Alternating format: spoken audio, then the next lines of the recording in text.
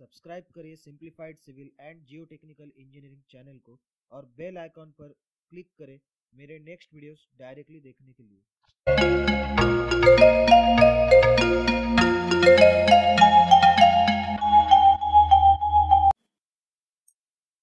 Hello friends, today we are going to determine water content which is present in the soil and for this purpose we will use oven drying method and we will refer IS 2720 Indian Standard 2720 water content निकालने के लिए कई अलग अलग तरह के method है but हम यहाँ पर यूज़ करने वाले ओवन ड्राइंग मेथड जिसमें हम सिंपली ओवन का यूज़ करेंगे और इससे हमको वाटर कंटेंट पता चलेगा। वाटर कंटेंट निकालना इसीलिए ज़रूरी है क्योंकि इस सॉइल का जो बिहेवियर होता है वाटर कंटेंट के ऊपर डिपेंड करता है। तो इसीलिए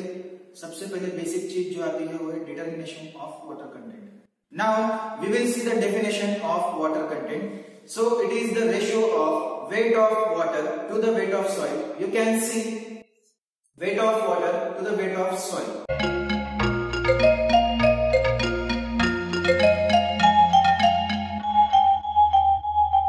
अभी हम देखने वाले हैं इसमें एपरेटस जो कि हमको इस प्रैक्टिकल के लगने वाले हैं पहला है इसमें ओवन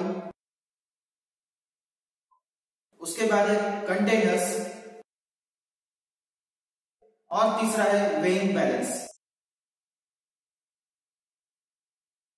ओवन को हम रखने वाले हैं 110 डिग्री सेंटीग्रेड पे। उसके बाद है कंटेनर्स। हमको तीन कंटेनर्स लेने हैं, जिसका हम बाद में एवरेज लेने वाले हैं। और लास्ट में है वेट बैलेंस, जो हमको वेट लेने के काम में आने वाला है।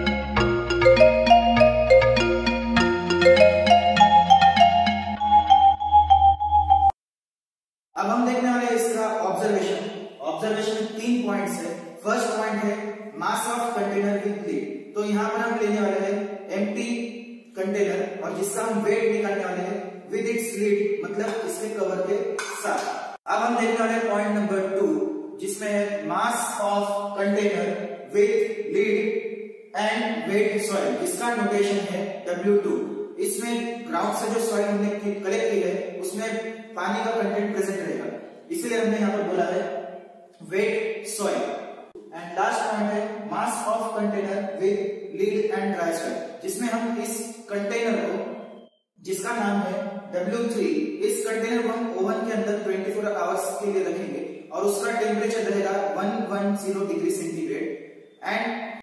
उसके बाद हम ओवन में से इसे निकाल कर इसका वेट चेक करेंगे। अब ओवन में से कंटेनर को निकालने के बाद अगला स्टेप है, हमको यहाँ पर डिफरेंस लेना है।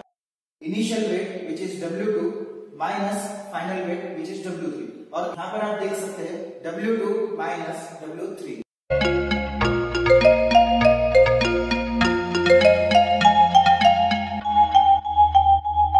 इस टेबल से हमें पता चलेगा कि टेस्टिंग के लिए सॉइल की कितनी क्वांटिटी लेनी होगी। जैसे कि example 2 M M sieve size से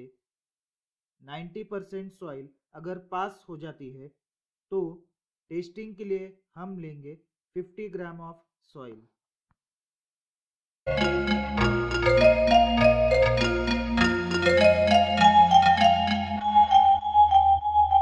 अब हम देखने वाले हैं procedure how to determine the water content by using oven drying method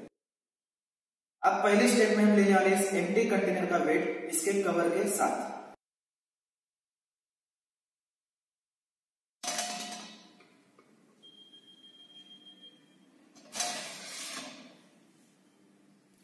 तो अब इस रीडिंग को हम ऑब्जर्वेशन टेबल में नोट करेंगे विच इज़ 47.64 तो अब हम यहाँ पे नोट करने वाले पहला ऑब्जर्वेशन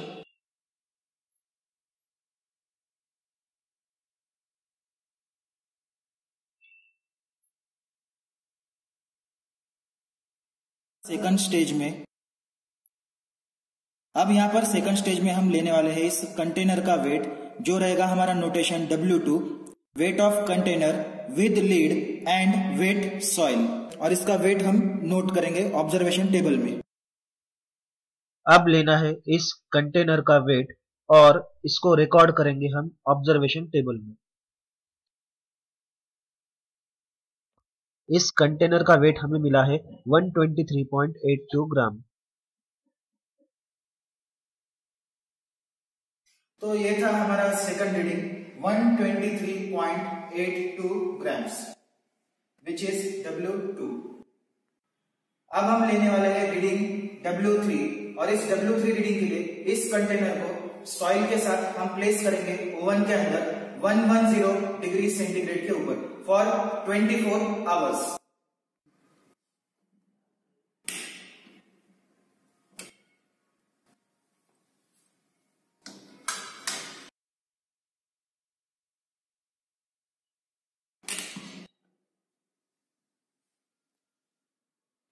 अब यहाँ पर आप देख सकते हैं, इसका टेम्परेचर हम सेट करने वाले हैं 110 डिग्री सेंटीग्रेड के ऊपर।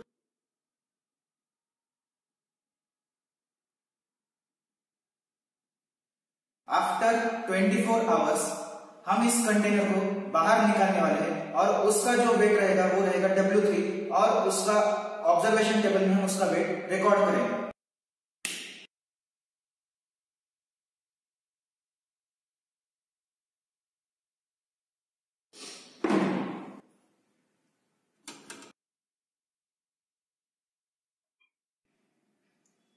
अब इस सैंपल को हमने ओवन से निकाला है 24 आवर्स के बाद और अब इसका हम वेट निकालने वाले हैं और वो रहेगा W3 और इसका वेट हम लेके ऑब्जर्वेशन टेबल में रिकॉर्ड करेंगे।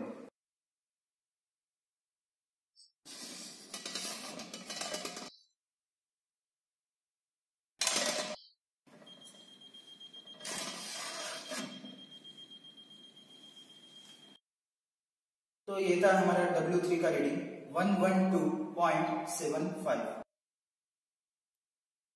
अब हम देखने वाले इसके कैलकुलेशंस जहाँ पे हमने डब्ल्यू डब्ल्यू फाइंड किया है। W W is the weight of water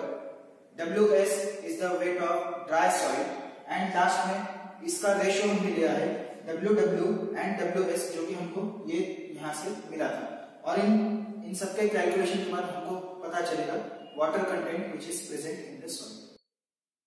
और यहाँ पर आप देख सकते हैं, हमारा सॉइल का वाटर कंटेंट जो मिला है, वो है 17 परसेंट।